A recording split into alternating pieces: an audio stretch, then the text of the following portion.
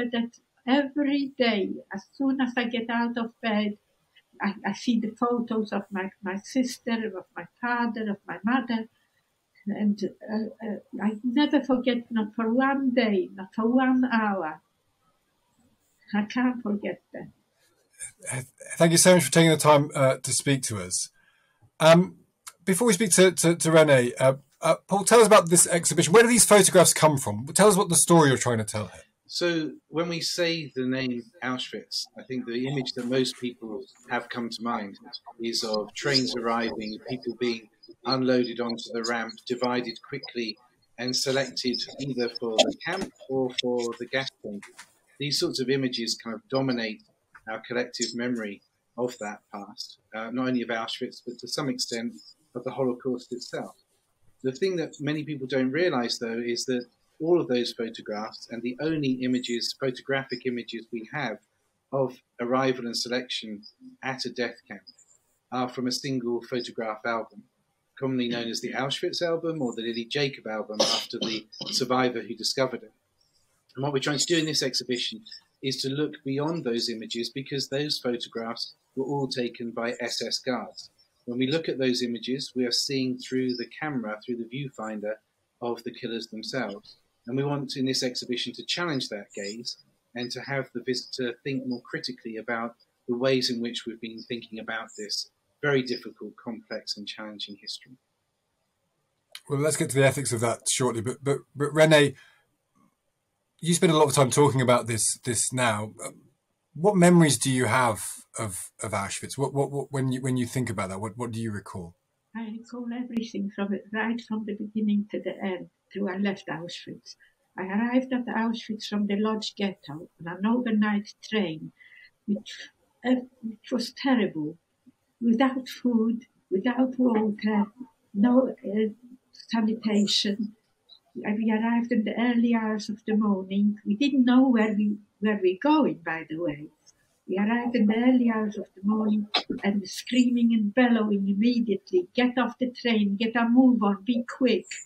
That's first thing.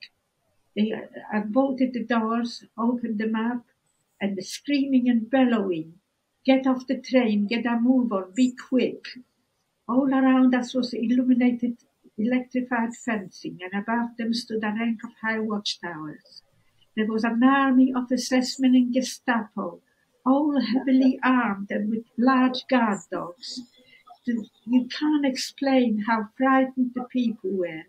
Guards moved in and uh, shoving us into columns. Some of them whispered, You are here now in Auschwitz Birkenau.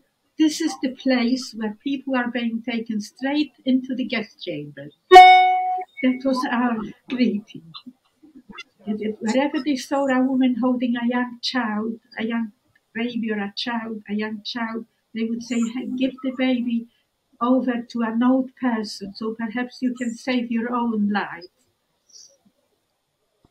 And how, how old were you, Renee, at this point? I was 14 years old.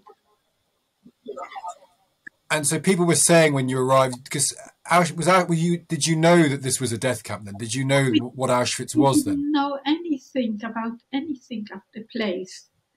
It was just, you know, they told us you're in Auschwitz and we didn't even know what Auschwitz is, whether it was a town or a village or whatever it was.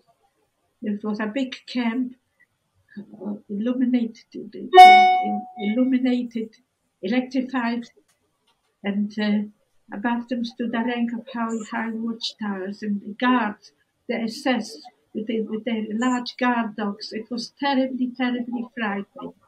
They took us, the people who were taken to the gas chambers were taken away, went to the right.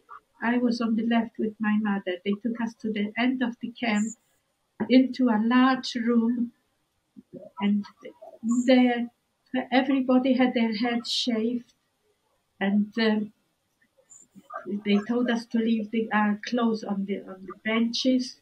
Guards were walking about collecting any valuables that anybody had, watches or rings or whatever. They collected that, and we left the, the, our clothes on the benches. They pushed us pushed us in into a large room which looked like a shower room. We thought that gas was coming through, but we were the lucky ones. They still needed us for the very hard work. So water came through. And afterwards they let us in, they, they pushed us into a different hole where they gave us some clothes to put on. Now, to give you an example, they gave me a very large skirt which wouldn't stand up and a men's pajama jacket. And what, what did you say to your mum? What did your mum say to you for these for the time you were there? How did you how did you process? How did you try and understand this? What did your mum say to you? My mum mum tried to to to you know to encourage me to keep going, to keep going. I shouldn't lose any any faith. I, I should I should be strong. She wanted me to be strong. To to you know. So she she looked after me and I looked after my mother the best we could we couldn't do very much for one another, but we did, did our best. That's what kept me going. I don't believe that if I wouldn't have my mother with me right through the war, I wouldn't have been alive. And she kept, and she kept you going, and you kept her going. But very sadly, just at the end, she, she died in hospital, didn't she? she died. Yes, she died in hospital twelve days after the liberation on the 27th, 27th of April 1945, she died. and, and, and, and do you do you still feel do you still feel anger? Do you still feel the pain every day? I mean, this is a long time ago now. These horrendous happenings to you and your family. How do you feel about it today? I, I remember that every day, as soon as I get out of bed, I, I see the photos of my, my sister, of my father, of my mother, and uh, uh, I never forget, not for one day, not for one hour. I can't forget that. And Paul, this is this is what the exhibition is about, isn't it? In a sense, yes.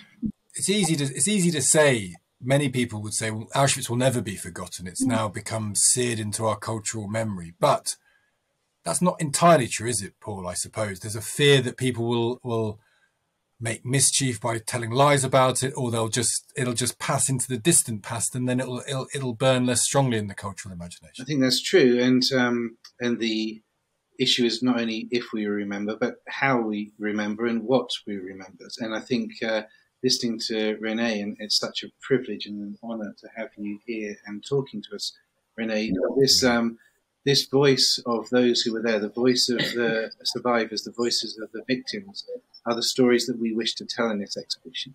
So although the images that most of the images that we're left with are created by the killers, by the perpetrators, in those photographs, of course, we can see the faces of the victims, and we want to do everything we can to rehumanize those um, people and tell their stories. Also, the stories of their resilience and their resistance. So, we include in the exhibition drawings by uh, the inmates, photographs taken with a smuggled camera from inside the crematorium. Yeah. Can you look at these pictures at all, Renee? How do you respond to things like that when you see images of, of Auschwitz? Does it is it something you can look at, or is it something that's too traumatic? If I look at it, it breaks my heart, but I have to look at it. I look at it because just, just it's heartbreaking to see it. I, everything comes back to life. You see it all as it happened. But, but what, why do you think it's important still to look at it? Is it because that you don't want people to, to because forget? we don't want to forget. No, we mustn't forget. We mustn't let anybody forget. We also have, don't we, today, um, continuing mass atrocities around the world, other genocides that have unfolded since 1945.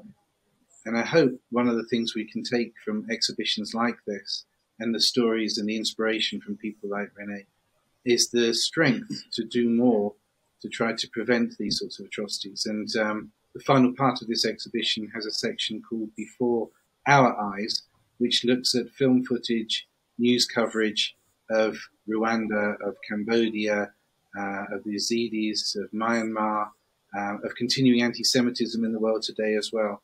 And I think presents a, a challenging ethical problem for us, for all of us. Well, Paul, exactly right. And Renee, just to say that for everyone listening to this, um, we do appreciate you reliving these moments because uh, it's very brave of you to do that. It's so horrendous to even for us to even possibly imagine, but we we do so we're so grateful for you for taking the time and the trouble to talk to us.